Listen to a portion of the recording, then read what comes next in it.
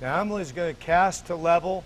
She's going to do a back hip circle and just stay on the bar from a level cast. I'm going to try it again. Level cast, back hip circle. Now Emily's going to do a level cast, a back hip circle, and try to push it back to a level.